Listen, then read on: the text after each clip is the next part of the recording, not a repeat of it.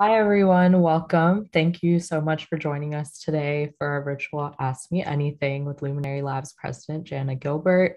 And for those of you who may not know, we are a strategy and innovation consultancy based in New York City. My name is Naomi Naik. I'm on the communications team. I'm a senior communications associate. And today, Janna will be answering frequently asked questions from how Luminary Labs teams are structured and how we plan uh, for career trajectories to what it was like when she transitioned from a large company like McKinsey to a boutique consulting firm. Um, so a few items before we get started. This will be recorded and available to watch after this week. There's also a Q&A button at the bottom of your Zoom window that you can use to submit your questions at any time. We will try our best to answer as many questions as we can, and we'll be first starting with the questions submitted through the registration form. You can also learn more about our work and explore current opportunities at luminary-labs.com. So Janna, I'm so thrilled to be in conversation with you today. Do you mind introducing yourself to those in our audience who may not know you? Hi, Naomi. Thank you. And hello to everybody. It's really great to be here today. Um, so my name is Janna Davidson Gilbert, I'm the president at Luminary Labs. Um, and I joined Luminary Labs about nine years ago, as you mentioned, following about seven years at McKinsey before that. So I think we could probably get started um, with you telling us about your career path and why you almost actually left. yeah. Um, so as I said, I, I, joined LL after you know seven years in a large management consulting firm, um, and during that time, it was a great experience, and I really learned a ton and got to work with incredible people. Um, and then there's a point when I decided it was time to leave for a number of factors. And as you said, like I thought that was it. I was done with consulting. Um, I had spent the last few years really working on our innovation service line. And I was ready to apply the skills I learned through that work to help build and grow a company. So I really started my search process and was looking at all sorts of different companies here in the New York City area. And I met Sarah Holoubek, our CEO, through a pretty thin thread. Uh, I was taking lots of meetings and introductions, and I was just really inspired by the type of leader she was and the vision she had for the company that she was building. And I realized I wanted to help her build and grow Luminary Labs. And also had to admit to myself that maybe I like consulting and I was good at consulting, and that was actually okay. What do you feel were some of the major differences when you moved from a large firm like McKinsey to a boutique consulting firm like Luminary? Well, lifestyle is obviously a big one. You know, I was a road warrior, so I was traveling Monday through Friday, Monday through Thursday, most weeks for the better part of seven years. That was a lot. And hours were long, you know, probably a good week was looking at 60 hours. And I was ready for a change. I just had my first child. And it was made clear to me that I was going to have to continue to travel um, upon return. And it was something I wasn't really interested in. And so I was looking for, you know, a little bit of a better lifestyle. Um, but I was also looking for a difference in my day to day. The type of consulting we do at Luminary Labs is different in a lot of ways because here we also do like the upfront research and strategy, but we pull through to execution. So we take our recommendations and we make them real. And I really love that. I love seeing the work we do exist in the world. Um, and that's a big difference from, I think, some of what the larger consulting core functions were doing when I was there. Um, one of my last big projects when I was at McKinsey was leading a global innovation transformation program. And I loved not doing my day to day in PowerPoint all the time um, and actually executing change across the organization. It was exciting. Um, I definitely. One, so go ahead. I was just going to say, I definitely agree with that aspect. I think Luminary Labs, our consulting is very unique in that you're often seeing these multi phase projects from beginning to end, um, which is something that you don't necessarily see elsewhere. Yeah. And it also means that like what you're doing is changing all of the time. And so like our day to day can be very different. Um, I think something else that I really love, and I'm, I'm not sure if like you have seen this difference also um, from the work you did before, but we really are able to tap into expert networks in a way that I was not able to at a really big consulting firm. Like when we want to bring the best to bear for a client project at Luminary Labs, like we can reach out to the people who are like leading the work directly. I love that on CT Mission CubeSat, we could get the actual inventors of the CubeSat like in a room with us. Um, we did a demo day for one of our projects and we got Vint who is widely seen as one of the fathers of the internet to speak at our demo day, like kind of incredible opportunities, which is interesting, right? Because we're such a small firm, but I think because we really care about and nurture the network, we can build like these really strong connections. And I think it makes our work better. Absolutely. And I think this actually goes a little bit into our next question. So, as you said, um, Luminary Labs was a pretty young company nine years ago. Um, so, what was Luminary Labs like when you first got here, and how do you feel like things have changed? Yeah, that's a great question. Um, and I was I was reflecting back on this as I was thinking about this um, session today, and you know, when I met Sarah, Luminary Labs was a young company, only a few years old, but really doing groundbreaking work. I was really impressed that this like group of exceptional people, like some people like at the top of their game, some people who are really new to this space, but they were like making magic happen. And they were doing this in this like small company in this tiny little office in Tribeca, but they designed and stood up these programs that nobody thought was possible. Um, you know, this could have been like the first innovation challenge run by a pharma, which somehow went from like idea to announcement at a major conference in I think six to eight weeks, um, or helping a client move from being drug centric to patient centric. Like they were in the White House. I was like, wow, the work that this little company is doing is really meaningful. Um, and I wanted to be a part of that. And I wanted to help take it from where it was to like really bring it to like the next stage of development, which was make it a more professionally run, like consulting organization and bring the best to bear what I learned at a huge consulting firm and think about, well, what does that mean for a place like Luminary Labs, which in a lot of ways is very different. Um, but I think in some important ways, it's the same. Like the, we have a very high bar for like what we deliver to our clients. Like we want to exceed their expectations. And for me, that was very similar from a big firm to Luminary Labs and something that like I know all of us care about. We want to do really great work day in and day out. So aside from our actual work, um, how does leadership at Luminary Labs set up employees for success and what does professional development look like within the workplace? Sure. Um, so, you know, one thing that has changed, maybe before I get to that, is as an organization, we've also really changed like how we're structured. And we do work, when I joined, we were doing mostly like healthcare work. And now we work across our four focus areas. Um, and we have really sort of like found our true north, I think, along the way on working on these thorny problems that matter um, and developing our approach to consulting. And so I think we've done a lot, not only in development of like who we are as a consulting organization, but building on the really strong beginnings of the foundation that, that Sarah built and establishing a clear org structure. We defined roles, created clear trajectory paths, and really established a lot of professional development norms along the way. Um, and we've been a place where we've always really valued people coming from different places and having different backgrounds and trying to think about how can we make sure that like every employee's trajectory matters and to create a consistent process and try to bring as much transparency to it as possible. Um, so our process is like we have like an annual professional development cycles rooted in personal goals. We focus on skill development with like a clearly defined rubric. And then everybody has an assigned people leader that is responsible for their professional development with like weekly checkpoints, um, and really helping that person as they're thinking about what skill sets do they do they want to develop? And how do we give them at bats to reach their goals? And how do we make sure they get the experience they need to get to the next the next role? Um, it's really important i think to all of our leaders that we want to give people opportunities to stretch into new capabilities and opportunities um, but also set people up for success. So sort of that balance between how do you give somebody like a lot of opportunities but make sure that they have like the support they need to be successful?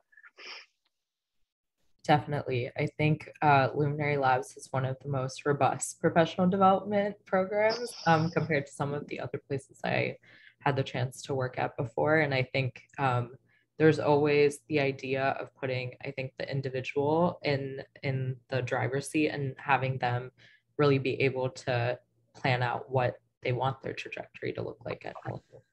Yeah, absolutely. And it, it, everybody's trajectory is going to look a little bit different. And I think that we can also structure roles to like suit what people are passionate about and like where their strengths lie, which is one of the nice things in a small organization. Like we don't have a committee off in another country somewhere deciding if you get to get to the next role. Like we can actually help co-design roles together, um, which I really love. So we do have a number of open roles right now. So what we are do. types of roles at Luminary Labs um, for people who may not know, and how do people progress from role to role? Sure. Um, so we do have a number of open roles right now, and we are always looking for people with like, like I said, a range of backgrounds. We've had people recently join us from like the International Rescue Committee, American Express, people with experience at New York City Department of Education, actually like an educator at a charter school. Um, the UN Foundation, although you're not a recent hire. Um, so our um, our roles are basically like pretty consistent across our different um, groups. So like we have three main teams at the company right now: strategy, communications, um, and uh, design and insights. And our entry level role at our company is an associate role, which is typically somebody with a few years of experience. At this point, the consulting or client services experience is not required, but we're assuming people come in with a basic, like fundamental skill set that you learned in your first few years in some sort of like professional setting. Um, and that's really just because we're a small company and we don't necessarily have like the infrastructure for sort of like all that like brand new first job training that a lot of people can get at the larger organizations. Um, and then the next role is uh, a senior associate role. And that person has a few more years of experience. They're going to be able to operate more independently. Um, and they likely have a strength in one of the three or four primary capabilities of the role. Um, and it depends on whether you're in design or communications or strategy, like what those capabilities are. And then our manager roles are somebody who comes in with a pretty strong client services skill set and can lead the development of deliverables, manage people and teams, and they can work across multiple projects. Um, and they're typically involved also in recruiting and other initiatives across the company, but also senior associates and associates are often involved in those as well. But at that stage, it might be a little bit more um, dependent on the individual and their interest. Um, in terms of progressing from role to role, we have like a pretty clear set of rubrics, and we're looking for people sort of like to master competency of the skill set in their existing role and you know show the sort of proficiency to move into whatever the next role is. And we go through a like we were just discussing like a regular like development review cycle of everybody um, to really try to assess like where somebody is in their trajectory and to try to say okay here are like the skill sets that this person needs to get to the next role. Like how can we give them at bats and opportunities to build out and demonstrate those skill sets? And even though we're a small company i found that we often can like think about ways to like restructure a project or bring somebody into a new project to provide those opportunities to build and develop those skill sets um, so that they can then be ready for like the next role. I think this was answered a little bit already, um, but in terms of like our actual project teams, do you mind um, shedding a little bit of light on like how we organize those teams and how we decide who's going to truly be like driving a lot of the work behind them? Sure. Um, so as I mentioned, we have a few teams at the company. Um, so our largest group is the uh, group of strategy consultants. And then we have our communications team, which you are a part of. Um, we also have our design insights team and also content and community, not to be forgotten, even though Jessica's not with us today. Um, but those are those are four like teams on the client delivery side. We also have operations team who we could not live without and make every day better. Um, but in terms of how we organize our client work, usually the strategy team is going to be at the core of driving our work. Um, and that team is usually consists of an associate or a senior associate, and then an engagement manager and a director. And that team is really sort of going to own the client relationship, own the overall project plan, and drive all of the day to day work we're doing. They're also responsible for um, driving like the research and the strategy development. They're responsible for like standing up the program and pulling through to the execution. But they could not do their work without all of the other teams who are really instrumental to us delivering successful programs. Um, so the communications team, um, almost every project has at least one, if not two people from the communications team involved from the beginning. Um, and that is also true for our design insights team it was an early learning for me. Um, one of my first projects, I remember like the strategy team, we designed the whole thing and then we handed it to our communications team and they're like, we cannot market this. Um, this doesn't make any sense to like an audience. And so we've really learned a lot over the years. And now like we start the projects with everybody at the table. Um, the communications team is going to lead the development of like the um, the voice and tone and the messaging and how do we communicate this to the audience? What are different stakeholders that we want to be thinking about and how do we need to adjust our messages for each of them as well as helping to design like all the actual assets we need to go to market? You guys also have been amazing at helping us with events like these and making sure that you know we always show up um, the best possible. And then our design insights team is helpful in not only designing our visual identity for our programs, but also for designing experiences. They lead a lot of our design research um, in our research phases of our project. And then content and community is making sure that everything um, in terms of the, the story that we're telling and the language we're using is really thoughtful and hits the mark in terms of the audience we're looking at. Um, but at the same time, every single one of those teams is involved in strategy.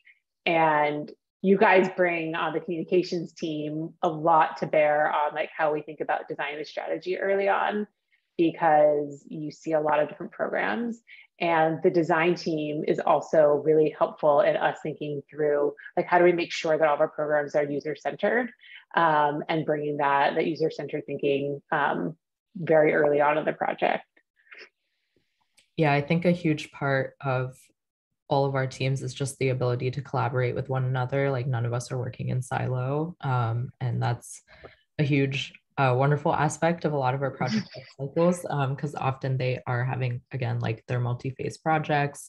Um, there's a lot more involved than just, you know, as a communications team member, just writing, you know, assets and copy. There's a lot of other um, aspects of the strategy that we get to work on as well, which is always really exciting.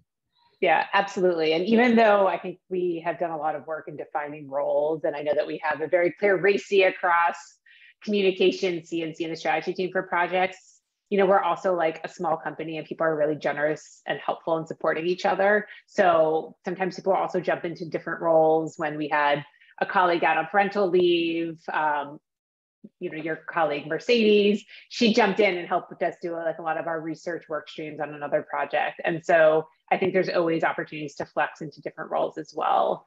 Um, we don't have to we're not so siloed. It's a very collaborative team as you mentioned.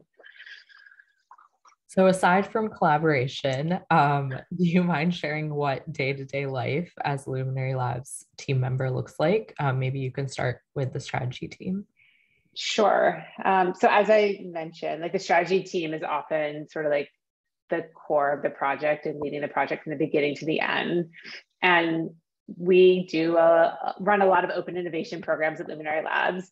And those programs are similar to some of the other projects we have in that we're starting with research that informs our strategy, and then we actually design and stand up the program. So, you know, the day to day looks very different depending on where you might be um, in a project. So in the early days, there's going to be a lot of project management and just getting the project stood up correctly, you know, kicking off with the client, getting ourselves organized, making sure that whole team um, that we just talked about knows what's happening. And then we normally move into uh, a research phase where the strategy team is going to be doing a few things. One is um, conducting desk research, so reading literature, trying to get smart on the topic, uh, that usually involves also talking to a large number of subject matter experts to make sure getting like real insight from the field. And then we move into uh, more of like a design phase. And so that will look like actually taking all of what we've learned in research and working collaboratively with the client to lead them through a process of co-creation. We're actually designing the program. Um, so the day-to-day there is going to be a lot of coordinating with the client, getting their feedback, making sure we're staying aligned on the goals, what we're trying to accomplish. And then once we're done with like the design phase of work, we move into usually a production phase. And so that's going to be a lot of writing and editing, coordinating with all of the different teams we just mentioned. Like this is when like the whole machine starts really moving. And I find it to be a really exciting time and making sure that we have all of our bases covered, but then doing like all of the like details that we need to be able to launch a successful program. Um, so one day that could be loading copy into Luminary Lightbox. Um, another day could be building outreach spreadsheets.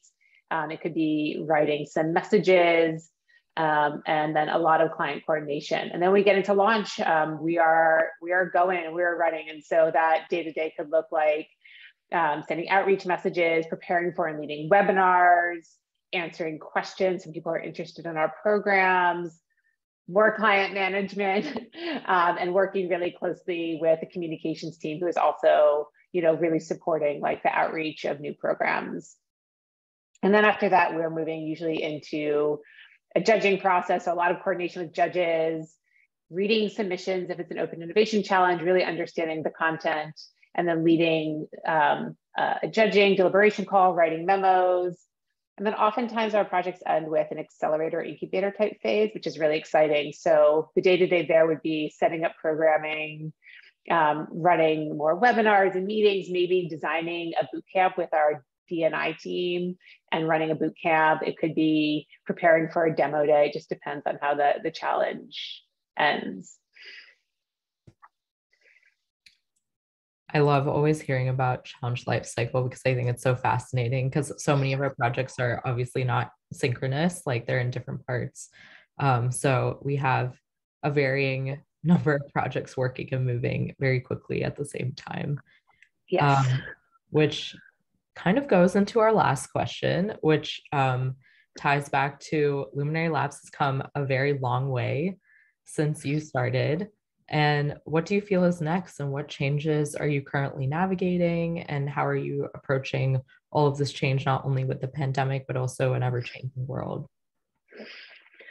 Yeah, we have changed a lot since I joined, um, not only in terms of the type of work we do, but the type of company we are. Um, and a lot of that change is exciting, and you know, some of it's really hard. Um, so the last few years have been with the pandemic, um, as well as I think a lot of organizations thinking more deeply and more meaningfully about their DEI work.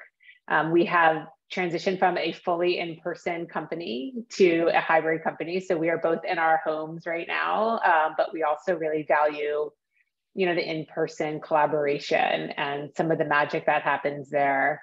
Um, so we've really been trying to find our footing on what is what does flexibility look like at Luminary Labs now? How do we make sure that we're capturing that value being together, but giving people, you know, some of the flexibility that we all were able to very quickly get during the pandemic. Um, and at the same time, we have gone through, you know, real process of trying to figure out what is what does the diversity, equity, inclusion work look like at Luminary Labs. Um, and that's been a lot of really hard work, but really important work that I'm personally really grateful that we've undertaken, um, both as a company and me personally. Um, you know, you know, because we both do some of this work together, that we are both like now on a committee to really think about what are the actions we want to take at the company to further our goals for um, DEI. And you know, we started by really defining what equity meant to us as a company, um, and also to revisit and redefine our company values, right? Because that's like sort of like the foundation we have to build on, and going through that collaborative process of saying like what are the values? Like what do we what is important to us as an organization? Um, what has been important that we want to keep? And what actually do we want to let go because we have sort of evolved as an organization? Um, and i'm you know really looking forward to continuing to to do this work. One of one of the important um, words in our definition of equity is that it's a process. Like we are never going to be done um, which means that we hopefully will never be satisfied. We always will want to accomplish and do more as an organization. Um, so I think that that work has been really important to us as a company and to me personally as, as a leader. Um, I think that we have done a lot just as a company in terms of how we've grown and evolved over the last nine years, but I also feel like we're just getting started. I think there's so much opportunity for us. And I think that there is just incredible talent in the company. And I'm really excited to see, like, as a company, what we can do and where we can take the company, like where we'll be in nine years from now. Um, so um, I think that we will continue to double down in some of our existing um, focus areas. We do quite a bit of work in education um, and health, and we are looking to continue to expand like the work we do in infrastructure and continue to, to grow our teams. I think um, one of one of the things that was part of our now DEI work was also revisiting our values, um, and I think a huge part of that work was also that we realized that a lot of these values that we were kind of rewriting were already so inherent in a lot of our project work and kind of the lens that we not only uh, work with our subject matter experts, but also as we're approaching um, submissions for a lot of our challenges and who actually are we able to promote these challenges to and who's allowed and able um, and hopefully um, willing to participate in a lot of these incredible challenges as well. Yeah, absolutely. And I think, you know, we have continued to try to think about how can we make all of the work we're doing for our clients, you know, really infused with more equity and in, and a more inclusive approach. Um, and that work has continued, but we've also turned that lens on ourselves um, and make sure that we're not just thinking about this for our client work, but we're trying to think about that for ourselves as well. So, as someone who's now been at LL for nine years and, of course, has had a plethora of experience pre LL, um, do you have any advice to those who may be looking um, to raise potential change or ideas in a corporate setting or environment? Um, often, places these days, um, we're seeing a lot of budget cuts or layoffs, um, and often direction of projects are changing or the vision is changing. So, do you have any insight for those who may be, you know, either at a mid or entry level position and are trying to um, be a little bit more vocal about the change that they wish to see in their work environment? I think this is like an incredible moment in time where we are seeing that like distributing power is the future and so to take opportunities to really drive change forward and to seek out like those sponsors who truly like see you and hear you and believe in you and to find those opportunities to to sort of like take take things and run with them right? It could be there's so many opportunities at organizations. And if you're in a place where like they don't see you and they don't want to give you that opportunity you know it is time to find a new role out there because you know life's too short to be somewhere where you don't feel like you are able to like reach your full potential. I think that's great advice. We also do have a lot of um, audience members who have a design background. So i'm not sure mm. if you want to share uh, a little bit of your ties to design and, and also kind of ties back to why um, you may have transitioned to ll sure. Um, so as I mentioned, like my last few years at McKinsey were spent in our global innovation service line, which was sort of like my introduction to design thinking. I have like a background in business. I did business undergrad. I got my MBA.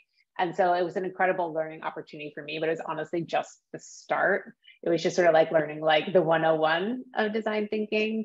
Um, and I had this great opportunity um, about a year after I joined Luminary Labs to teach a course at the School um, of Visual Arts. Uh, it's called Products of Design. We've been fortunate to hire a lot of graduates from that program who are amazing. And I taught a business model prototyping class for designers. And there was no syllabus or curriculum. The program just started. I was the first, te- you know, per- first person teaching this class. So I had to design it all from scratch. And I started by using, you know, some materials that I had developed over my time doing innovation work and really learned a lot in working in designers and like the way they think about identifying opportunity and how much that balances out. I think the more like analytical approach maybe that I had been taught and I had grown up with. And so people say this all the time, but teaching this course, like I learned, I think as much as I taught the students, if not more, about you know how I can reframe how I look at opportunities and problems, but also how designers think and what they can bring to the table. Um, and I think something that's really different at Luminary Labs is, you know, we really view like our design team as like real partners in our work. Um, and, you know, in some places I think like business is here and like design is off here to the side. And like design is really like the foundation of like a lot of our work. When I joined the company, it was, you know, a huge part of what we brought. And, you know, Winnie, who is our design manager, has brought sort of like an incredible like new energy to our design work at the company um, and has really infused a lot of our projects with design research where maybe it didn't exist before. Like we're putting in some of our proposals and making sure that all of our insight gathering is centered on real user needs. Um, and I'm really excited uh, about that work and continuing to learn. And I love, you know, being in any meeting led or attended by like our design insights team.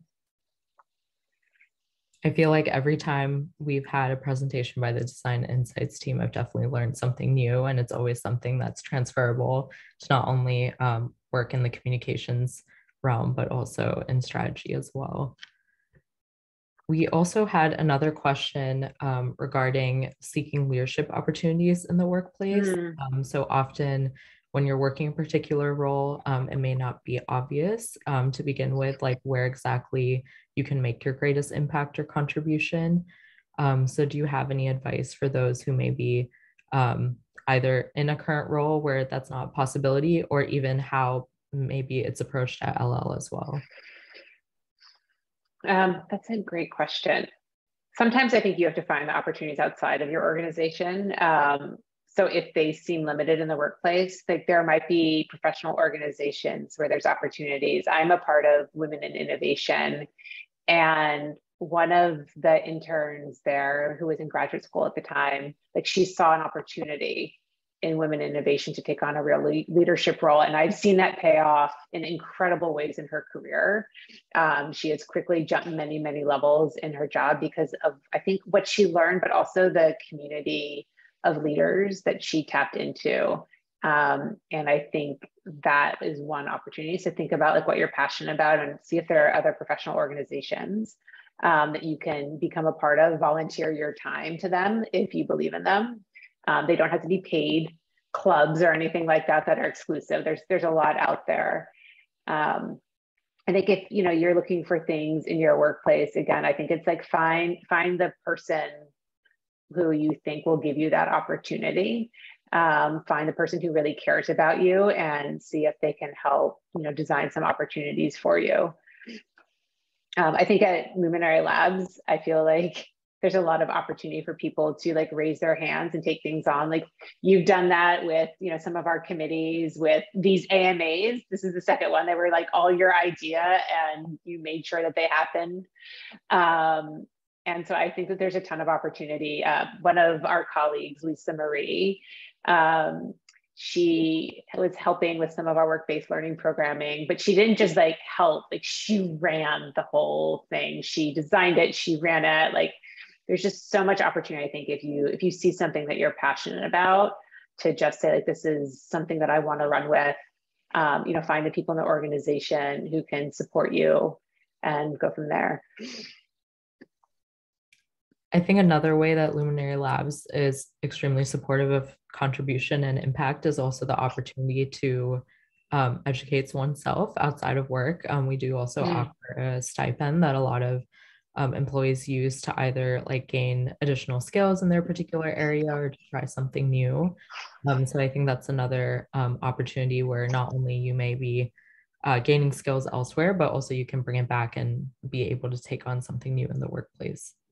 Have you used it? I used it, I think last year. Um, but I haven't, I have this year went by really fast. So I feel like I have to still think and decide what I want to do with my particular stipend. I have a couple months. Um, okay, that's exciting. I, th- I think that's a great point. I think the stipends are there. And I also feel like it's part of our jobs as like people leaders to help identify opportunities for that growth because as a small company, we obviously have we actually have pretty good training in a lot of ways, but there's like a lot of things that we can't offer. So it's great that people can can do that. Um, we also send people to conferences, which I think is, you know, a more natural learning opportunity to learn about topics, to meet people, and to really be exposed to like the the world a little bit more broadly. And um, I don't think we mentioned this yet, but we also have Gather, um, which we have during our week, which is like one hour that we use to either, you know, discuss things that are going on currently within the company, um, but also it's often used as kind of like a sharing um, place where a lot of um, times, either for projects or other work that employees are doing, they have that one hour to be able to share um, their impact and their contributions and what else they've been up to. Um, and I think that's another um, awesome place where often people are then making connections and they realize that other people have interests um, in areas. And I think it's a great a great opportunity for a lot of us to showcase what what else we're doing outside of the company. Yeah, that's a great point. Gather actually originated because we used to have like luminary learnings and we'd have like we had all these like different things running. I was like, well, why don't we just all gather once a week? We can do lots of different things in that time, but at least like we have that hour where nobody has other meetings on the calendar. And I love the gathers. I especially love the gathers where you know they're led by you know maybe somebody who's joined the team recently we get to learn a little bit more about them and their backgrounds and what they've been working on and like their specific areas of expertise absolutely I think um, one question that we may not have answered yet is how do we ensure how we're doing so much work all the time. So how do we like internally ensure that we're making progress towards our goals? Um, I think not only as a team, like whether it be on projects, but also as individuals with our own personal development goals as well. Sure. Um, I think as an organization, the company goals, you know, Sarah has all hands a few times a year. And that's where she shares with the whole company, like, what are our goals? Where are we heading? Um, what are we hoping to accomplish this year? And then she'll actually revisit those goals and say, like, here's where we are against each of them. And, you know, hopefully as many of them as possible, we made real progress, but maybe some of them we didn't. And so like we want to also acknowledge like those areas where maybe like we have more work to do or maybe the goal has changed. Um, I think as individuals, we each go through a goal setting process early in the year um, usually in January and early February, where somebody thinks about based on maybe what Sarah shared in the all hands and the goals for the company and each person's own personal passions and what they really care about as well as where they want to be with their um, in their professional trajectory like what do they want to accomplish in a year? And that's something where like the, the people leader will give feedback and set those goals together. And then we have a series of checkpoints um, every quarter where we make sure that we create time and space to talk about how um, each employee is doing against those goals, how the company can help, like what what they need. Um, maybe the goals have changed. That's okay too, um, and like maybe want to want to revisit them because you either accomplished one or you have something else that's become you know more important over the time. And those regular checkpoints are you know good moments just to really think about trajectory and progress against goals but also we have like every week people leaders meet with um, meet with the people that they're managing to provide either like you know support on the ground on a project or if there's something around like maybe talking about of course you want to take but making sure that we have that space every week that is really focused on the individual and not just about the project and you know where the project is.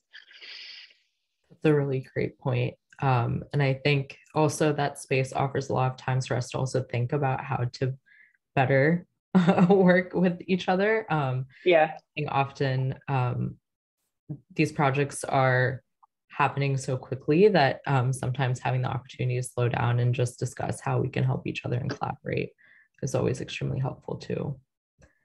I also found the the work we did around sort of like personal styles assessment really helpful to to learn like we're all coming from different points of view and we have like different strengths and like how can we how can we work differently with people when we understand them better but also how can we flex our own styles um, so that like we can you know have a great experience working together. I found that work really important and i'm excited to like continuously revisit it as new people join the team and go through the process also we were just talking about our styles actually yesterday in a committee meeting. Oh, were you?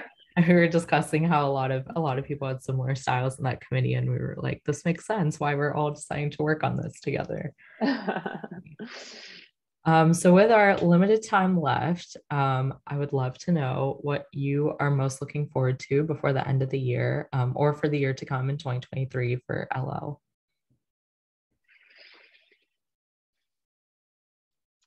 That's a great question.